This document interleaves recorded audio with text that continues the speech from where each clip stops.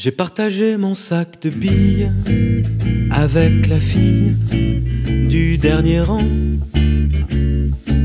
Celle qui a les grands yeux noirs qui brillent, celle qui s'habille un peu marrant. Celle qui parle jamais à personne, moi je lui donne de mon goûter. Ma mère m'en prévoit toujours trop sous le préau, on va jouer. Parce qu'elle aime pas trop l'école, les heures de colle tombent pas mal. Parce qu'elle dit jamais rien en classe, c'est dégueulasse, c'est pas normal. Moi, j'en ai rien qu'à parler trop avec Théo et puis Kader.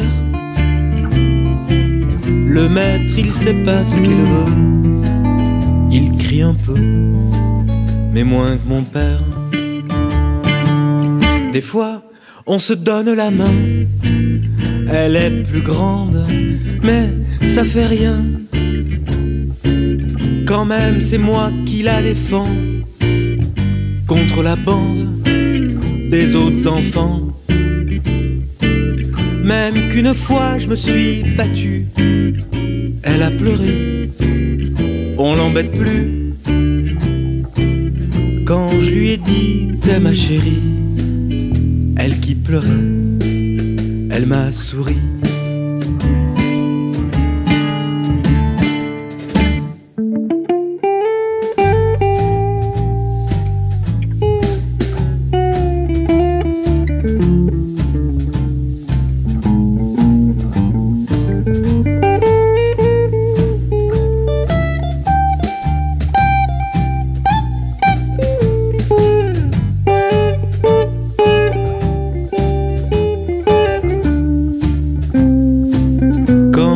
Dit t'es ma chérie, elle qui pleurait, elle m'a dit oui.